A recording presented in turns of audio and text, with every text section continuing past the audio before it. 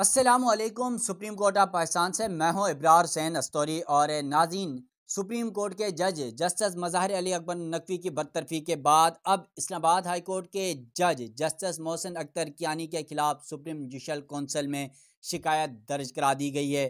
اگلے chief justice Islamabad high court بنتے ہیں یا نہیں محسن اختر کیانی؟ بڑے سوالات اٹھ گئے ہیں اور ساتھ ہی ایک وکیل ہیں اسلام آباد کے ہیں اور سابق سیکٹری اسلام آباد ہائی کورٹ بار ہیں۔ وکاس ملک ایڈوکیٹ، ان کی جانب سے سپریم جوڈیشل کونسل میں آج محسن اختر کیانی کے خلاف درخواست دائر کی گئی اور درخواست میں حیران کن اور عجیب سے جو ہے وہ ایلیگیشن یعنی الزامات لگائے گئے ہیں۔ کہا گیا کہ آپ نے جو ایجنسیوں کے حوالے سے چھ خط لکھا ہے چھ ججز کے ساتھ مل کے جو خط لکھا ہے، اس خط میں آپ نے جو ایک جج کے لیے ریاست کے حوالے سے جو معاملات تھے، اس کی خلاف ورزی کی ہے۔ تو میں کمبر زیدی سینئر صحافی ہیں اینکر ہیں۔ اور سپریم کورٹ کی بیٹ کرتے ہیں جی ٹی وی سے وابستہ ہیں۔ کمبر صاحب، یہ بتائے گا کہ محسن اختر کیانی اسلام آباد ہائی کورٹ کے سینئر جج ہیں۔ ان کے خلاف آج ایک شکایت یہاں پر درج کرا دی گئی ہے۔ یہ شکایت ہے کیا اور کس نے یہ شکایت درج کرائی ہے؟ دیکھیں بیسکلی آپ کو یہ دیکھنا ہے کہ یہ شکایت درج ہونے سے پہلے کیا ایسے حالات و واقعات ہیں جن میں یہ معاملات ہو رہے ہیں۔ پھر آپ کو یہ پتہ لگ جائے گا یہ شکایت کیا ہے، یہ کیوں درج کرائی گئی ہے، اس کا مقصد کیا ہے۔ اسلام آباد ہائی کورٹ کے چھ ججز نے جو خط لکھا، وہ طوفان ابھی تک تھما نہیں ہے۔ وہ سپریم کورٹ میں فل کورٹ بنے گا، اس پر معاملے پر تحقیقات ہوں۔ اس معاملے کی جڑ تک جایا جائے تو پتہ لگے گا کہ آخر انفلوئنس کس طرح کا ہو رہا ہے، کون سا ادارہ کر رہا ہے اور کتنا زیادہ انفلوئنس کیا جا رہا ہے۔ تو یہ تمام معاملے کو انیشیٹ کرنے والے ایک جج صاحب جو ہیں، وہ اسلام آباد ہائی کورٹ کے ہیں۔ اب ان کے خلاف سپریم جوڈیشل کونسل میں ایک ریفرنس آ گیا۔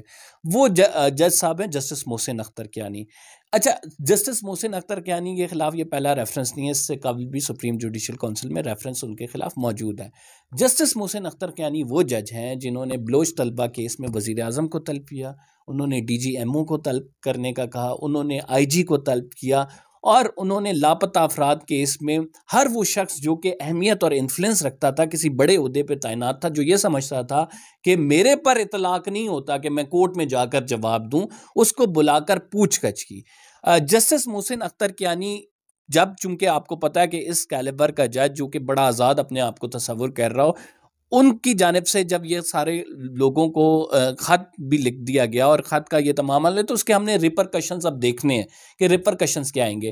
ریپرکشن یہی ہے جو پہلا ہم یہ دیکھ رہے ہیں کہ جو ہے جسٹس محسن اختر کیانی کے خلاف یہ ریفرنس دائر کر دیا گیا ہے۔ اس ریفرنس میں یہ کہا گیا کہ انہوں نے آرٹیکل پانچ کی خلاف ورزی کی ہے۔ آرٹیکل پانچ کے آرٹیکل پانچ ہے loyalty to the state of Pakistan یہ حکومت پاکستان، ریاست پاکستان کے وہ نہیں رہے لائل نہیں رہے۔ رائل کیوں نہیں رہے؟ انہوں نے جی ایک پرٹیکولر ادارے کے خلاف جو ہے، ریاستی ادارے کے خلاف کنونشن بلانے کا کہا۔ ان کا قصور یہ ہے۔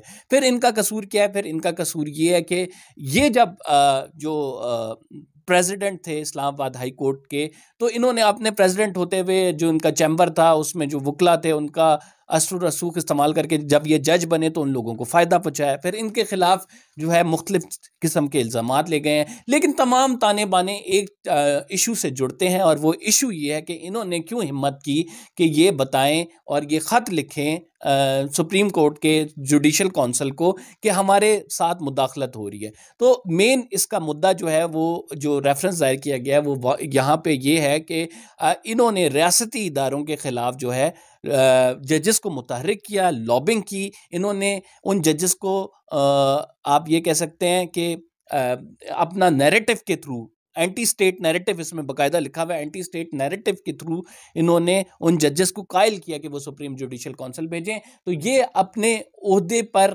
جو ہے اب نہیں رہ سکتے۔ یہ انہوں نے آرٹیکل فائیو کی خلاف ورزی کی ہے۔ ان پر آرٹیکل چھ لاگو ہوتا ہے، جو بڑا ایک سخت آرٹیکل بھی ہے۔ تو یہ تمام چیزیں جو ہیں وہ اس میں لکھی گئی ہیں ریفرنس میں، ان کے خلاف باقاعدہ ریفرنس آ گیا۔ آپ یہ کہہ سکتے ہیں کہ سپریم کورٹ میں جو چھ ججز اسلام آباد ہائی کورٹ میں جنہوں نے شکایت کی تھی، ان میں سے ایک جج کو ٹھکانے لگانے کے لیے ریفرنس سپریم جوڈیشل کونسل میں اس ٹائم آ چکا ہے۔ اچھا کمبر بھائی یقیناً اسلام آباد ہائی کورٹ کے چھ ججز کی جو شکایت تھی جس طرح سپریم کورٹ کے چیف جسٹس کو انہوں نے بھیجا، ججز کو بھیجا، وہ کاپی سپریم جوڈیشل کونسل کو بھیجا، اس شکایت میں الزامات کھل کے آئے ہیں کہ ایجنسیوں کی جانب سے مداخلت کی جا رہی ہے عدالتی معاملات پر۔ یہاں پر یہ بتائے گا کہ ایک یہ تاثر بھی جیسے جسٹس محسن اختر کیانی کے خلاف یہ شکایت آئی ہے کہ وہ اگلے chief justice Islamabad high court بننے جا رہے تھے، تو شاید وہ راستہ روکنے کے لیے یہ کوششیں کی جا رہی ہیں۔ دیکھیں، اس محسن اختر کیانی صاحب کی اگر ابھی آپ دیکھیں تو ان کو ایک سائڈ پہ لگا دیا گیا ہے۔ وہ کسی اہم مقدمے میں نہیں بیٹھ رہے، کسی اہم بینچ کا حصہ نہیں ہے اور یہ ابھی سے نہیں ہے، کافی عرصے سے ہے۔ اور اس کی شکایت جو ہے وہ آلریڈی کنسرن کوارٹرز تک بھی پہنچائی گئی ہے کہ یہ ان کو سائڈ لائن کیا جا رہا ہے۔ تو اب جسٹس عامر فاروق کے بعد جسٹس محسن اختر کے یعنی سینئر ترین جج ہیں پیونے جج ہیں۔ تو اب ان کی باری آنی ہے۔ اب اگر وہ اسلام آباد ہائی کورٹ کے ویسے تو جسٹس عامر فاروق کا ٹینیور بڑا لمبا ہے وہ تھرٹی ٹو تک ہے۔ لیکن ان کو عامر فاروق صاحب کو تو سپریم کورٹ بھی لایا سپریم کورٹ بھی لیکن ان کو لایا جا سکتا ہے۔ اگر سپریم کورٹ آتے ہیں in that eventuality justice Mohsin Akhtar Kayani would be the chief justice of Islamabad high court. اور اگر اسلام آباد ہائی کورٹ کا ایسا بندہ چیف جسٹس لگ جاتا ہے تو معاملات کیسے کنٹرول میں رہیں گے؟ تو یہ ایک بہت بڑی آپ یہ کہہ سکتے ہیں کہ رائٹ ناؤ کہ ایسا آزاد بندہ جو کہ لکھ رہا ہو، کھل کر لکھ رہا ہو، کہہ رہا ہو، اپنے خط کے ذریعے سے اظہار کر رہا ہو، اپنی انڈیپینڈنس کے لیے سپیس مانگ رہا ہو، تو اس کو اسلام آباد ہائی کورٹ کا جج لگا دینا چیف جسٹس لگا دینا بڑا پرابلمٹک ہو جائے گا۔ تو میں یہ سمجھتا ہوں کہ یہ بھی ایک نقطۂ نظر ہو سکتا ہے کہ پہلے سے ان کو، ان کے حوالے سے کوئی بندوبست کیا جائے۔ ایک آلریڈی پینڈن ریفرنس ہے، ایک اور بھیج دیا جائے سپریم جوڈیشل کونسل پہ بھی پریشر ہوگا۔ دیکھیں گے ان کے معاملات کیا ہیں۔ واقعی فائنینشیل معاملات کس حد تک ہم نے مظاہر نقوی کے حوالے سے بھی دیکھا کہ کس طرح سے ان کے خلاف کارروائی کی۔ تو محسن اختر کے یعنی کے خلاف بھی یہی جسٹس قاضی فائزیسا ہے نا، انہوں نے کارروائی کرنی ہے۔ جانتے ہیں سب کہ جسٹس قاضی فائزیسا کس حوالے سے کیا کچھ کر سکتے ہیں۔ تو اب دیکھتے ہیں سپریم جوڈیشل کونسل نے اسے دیکھنا ہے۔ اچھا کمبر بھائی یقیناً سپریم جوڈیشل کونسل نے اس معاملے کو دیکھنا ہے۔ لیکن ہم نے اس سے پہلے بھی دیکھا کہ جو سپریم جوڈیشل کونسل نے دو ہزار سترہ کا ریفر کی شکایت تھی، دو ہزار اٹھارہ میں، جیسے شوکت عزیز صدیقی کو عہدے سے برطرف کیا اور پھر چیف جسٹس قاضی فائز عیسیٰ نے آ کر اس معاملے پر فیصلہ سنایا اور ان کے جو پنچن ہے مرات ہیں، انہیں دوبارہ بحال کیا۔ کیا آپ یہ سمجھتے ہیں کہ جو وہ فیصلہ سنایا گیا تھا شوکت عزیز صدیقی والا، اس میں اگر ایجنسیوں کے خلاف کوئی، جنہوں نے، یا تو شوکت عزیز صدیقی نے جو شکایتیں جو الزامات لگائیں وہ ثابت ہو جاتی یا وہ الزامات سچے تھے، جھوٹے تھے، ثابت ہو جاتا، تو آج یہ نوبت نہیں آتی، آپ یہ نہیں سمجھتے؟ دیکھیں، وہ جو کیس تھا، اس میں بیسکلی جسٹس شوکت عزیز صدیقی نے جو الزامات لگائے تھے، جو تقریر کی تھی بار میں کھڑے ہو کر، ان میں بڑے سنگین الزامات لگائے گئے تھے۔ پھر ایفیڈیوٹ انہوں نے دیا تھا، جس میں انہوں نے کہا تھا کہ اس ٹائم کے general Bajwa, general Faiz Hameed brigadier Ramay جو ہیں، وہ جو ہیں، اس جرم میں ہنڈریڈ پرسنٹ انوالو ہیں کہ انہوں نے انفلوئنس بھی کیا ہے۔ وہ فیصلے کا بھی کرنے تھے اور وہ جو ہے عدلیہ پہ کیسز لگوانے کی بھی وہ بات کرتے تھے۔ تو اس تمام معاملے پر چیف جسٹس قاضی فائزیسا نے پہلے تو بڑا زور دیا اور کہا کہ آپ ایفیڈیوٹ لے کے آئیں۔ جب وہ ایفیڈیوٹ لے کے آ گئے تو جسٹس قاضی فائزیسا نے فیصلہ صرف یہ دیا کہ جو جج صاحب ہیں، ان کا جو اس ٹائم نکالا جانا تھا وہ درست طریقے سے نہیں تھا۔ انکوائر کرنا چاہیے تھا۔ جب آپ فیصلہ یہ دے رہے ہیں کہ آپ کو انکوائر کرنا چاہیے تھا تو آپ خود کیوں نہیں انکوائری کا حکم دے دیتے اس ٹائم کے حوالے سے؟ خود کیوں نہیں انکوائری انیشیٹ کر دیتے؟ آپ نے انکوائری انیشیٹ نہیں کی۔ ونس فار آل یہ ایشو سیٹل ہو جاتا کہ اگر ہائی کورٹ میں مداخلت ہو رہی ہے یہ جسٹس شوکت عزیز صدیقی والے کیس میں کہتے ہیں کہ یہ کس طرح سے ہو گیا؟ ایک جج جو ہے سابق چیف جسٹس جو جنس نے بننا تھا شوکت عزیز وہ یہ الزامات لگا رہے ہیں اگر آپ اس میں اس معاملے کو سیٹل کر دیتے تو آپ کو ان ججز کے چھ خطوط جو ان چھ ججز کے خط دیکھنے کی ضرورت ہی نہ پیش آتی۔ اب معاملہ دوبارہ سے آ گیا، لیکن سپریم جوڈیش اب جو فل کورٹ بنے گا، وہ کیا کرتا ہے؟